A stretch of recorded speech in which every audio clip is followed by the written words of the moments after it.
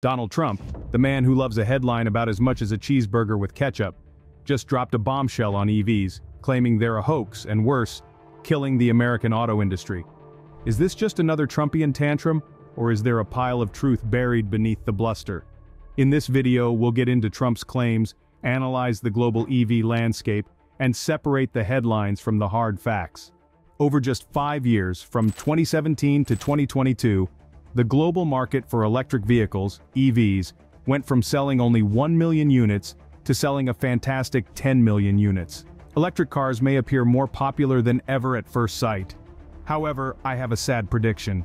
EV orders may drop significantly because of the upcoming election. Stellantis is taking a bold step into the future by launching its Dare Forward 2030 plan. This ambitious strategy aims to sell all battery electric vehicles in Europe and a vast 50% of them in the US by the start of 2030.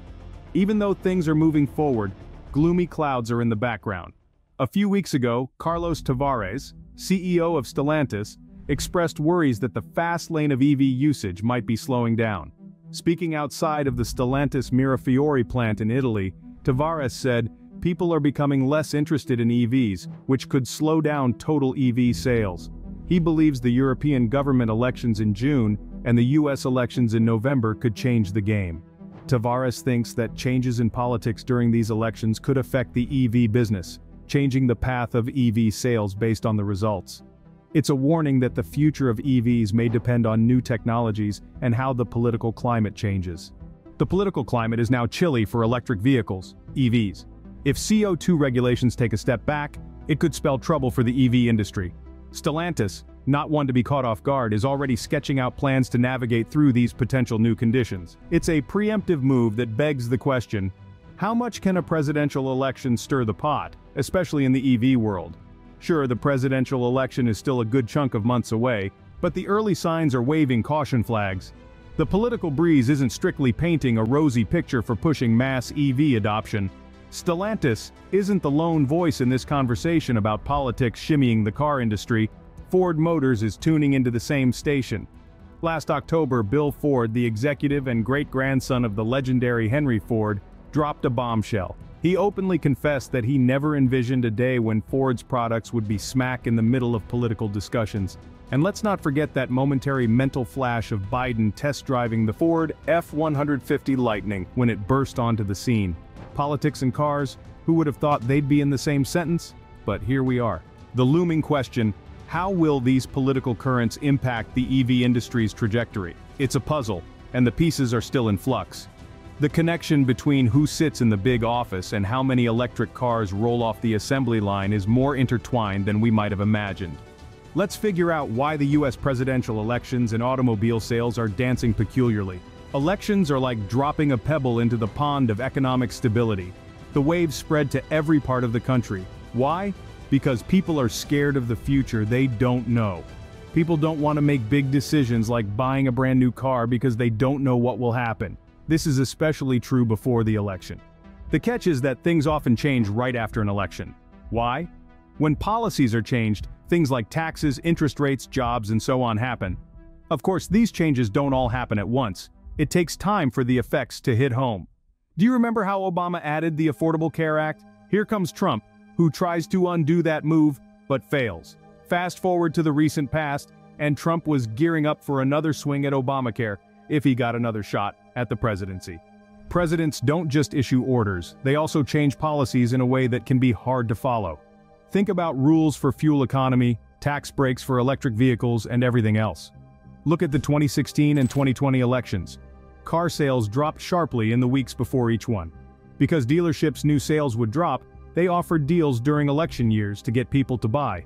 And do you know what happened after election day was over? As usual, many people wanted to buy cars, so aggregators, markets, and dealerships were all flooded with buyers. Let's get real about the EV scene. It's not all sunshine and rainbows. The fact is, EV sales have been taking a bit of a snooze lately. EV inventories have ballooned by 56% compared to last year. That's right, these electric wonders are gathering dust, sitting on the market for an average of 82 days. Put bluntly, they're playing hard to get way longer than their gas-guzzling counterparts. Why are sluggish sales when more incentives are floating around than ever? Well, there's a ride of reasons. Sure, EV prices are dancing and dropping thank you Tesla for that September price cut spectacle. But even with the price drops and tax incentives doing a little tango, EVs are still playing hard to catch for your average Joe. What's the big holdup you ask? For starters, the price tag. Even with all the recent discounts, EVs in October were still flaunting a hefty 28% higher price tag than their gas-guzzling buddies. And that's just the sticker shock. Once you peel back the layers, you'll find that owning an EV comes with its expenses. Insurance? More pricey. Home chargers? That's a couple of grand up front. Let's talk numbers. Over the first five years of owning an EV, you're shelling out an extra $5,250 compared to a gas-powered ride. Yeah, that's not chump change. And don't get too starry-eyed about the lower maintenance costs. Being a bit heavier, those EVs munch through tires like nobody's business. If your EV's battery decides to play truant, be prepared to fork over a cool $20,000 for a replacement. Charging anxiety is also something real. 77% of Americans are losing their sleep over the lack of EV charging stations. And let's not forget the skeptics. 57% say they're not too keen on swapping their good old gas guzzler for an EV.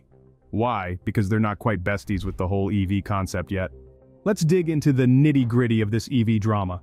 It's not just the slow sales, there's a whole party of problems. First off, the not-so-hot depreciation record. Last year the average price of used EVs took a nosedive of almost 20%. Now that's the kind of drop that sends shivers down a buyer's spine. People are wary because who wants to be left holding the bag with a ride that loses value faster than a sandcastle in high tide? And let's talk about lifestyle choices. Switching to an EV is like adopting a new lifestyle, not everyone's cup of tea. If you're considering making the switch, you better be ready for changes. Short driving trips? Check. Nearby EV chargers? Double check. And patience for the charging time? That's a must. Sure, you can speed things up with a DC fast charger, but here's the kicker. It's a fast track to a shorter battery lifespan. Tough choices, right?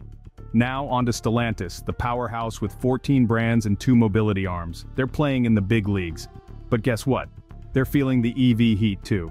They've got a game plan though, preparing for the possibility of EV sales doing the limbo dance, going lower and lower. And hey, don't be fooled by their recent establishment. This group is the brainchild of a 2021 merger between Fiat Chrysler and the PSA Group. But the competition's heating up. Ever heard of Luxeed? Yeah, not many have, but they're joining the EV Fiesta. And then there's a big name stepping into the EV ring, Huawei. Yes, the smartphone giant is eyeing a comeback in the auto world. Slapped with US sanctions for smartphone sales, they're teaming up with Chery Automotive, China's car export bigwig. So, Luxeed just dropped its first electric sedan, the Luxeed S7, and its eyes are set on the mighty Tesla. Priced at $35,200, it's like David gearing up to take on Goliath. Luxeed claims its battery pack can outshine Tesla's Model S in every spec. That's a bold move. We're on the edge of our seats to see if it lives up to the hype. But where Luxeed's S7 steals, the show is in the charging game.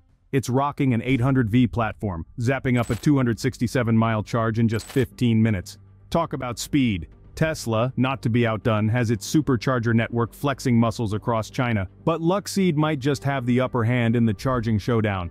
Luxeed has a unique game plan, the S7 is not just a car, it's a fashion statement. It aims to woo the female crowd with features like a high-heel storage spot, a cosmetics drawer, and a quick makeup touch-up mirror. We love a car with some personality, but let's hope it doesn't inspire on-the-go makeup sessions. Safety first, right? The Luxeed S7 is giving Tesla a run for its money at just a fraction of the cost. While the Model S in China is playing hard to get at $98,500, the S7 is the people's champ chilling at a more affordable $13,000. Now that's a game changer. And who's behind this automotive fiesta? Huawei, the smartphone maestro. Is the upcoming presidential election making you second guess that new car purchase? Drop your precious feedback in the comments and hit subscribe. See you in the next video.